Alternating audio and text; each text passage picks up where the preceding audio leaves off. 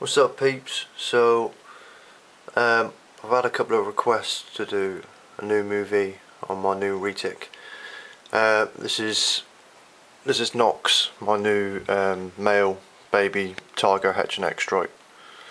Um, I'm a little bit hungover today, so bear with me.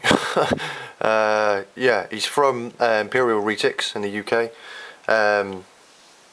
Friend of mine had him first, um, then he sold him to me because uh, he's moving on to some bigger and better things. So he offered him to me, and within about three hours, I had him uh, brought round. And so yeah, this is Knox. Um, he's named by a close friend of mine. Um, she gave me some names. I chose that. Nothing more to it. um, but yeah, he's really cool.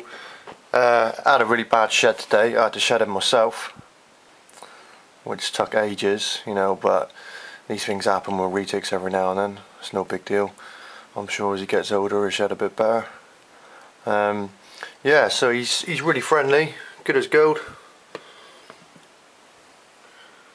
Not a, not a bit of aggression no aggression with him at all.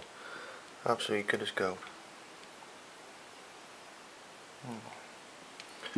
You know, especially when shedding him myself as well, you know, which it is a pain in the ass when you've got to shed your own snake sometimes, but it also does wonders for the taming process. So, you know, those 90 minutes of of shedding them out are, are priceless really when it comes to keeping them calm as an adult. So, you know, it's not all bad.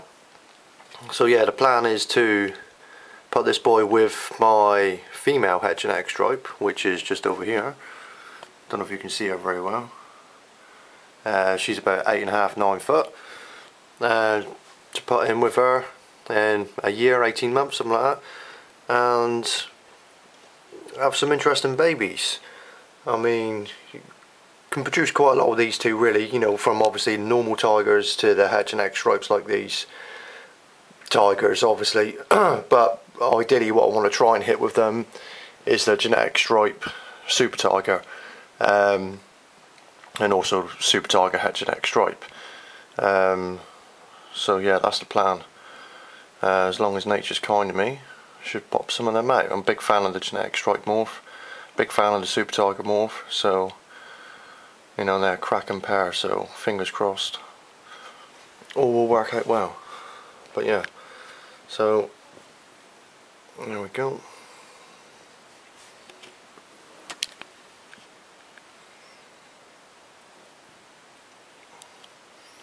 No epic floatiness I'm afraid, as uh, the others say on the other group, but uh, he's a good looking boy, so yeah.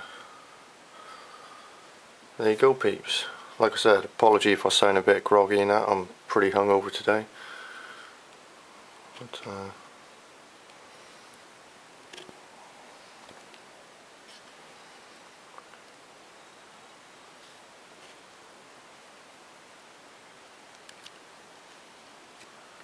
There we go.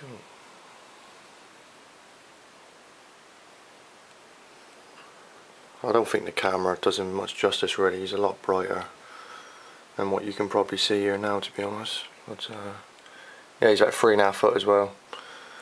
Knocking down wiener rats, no problem.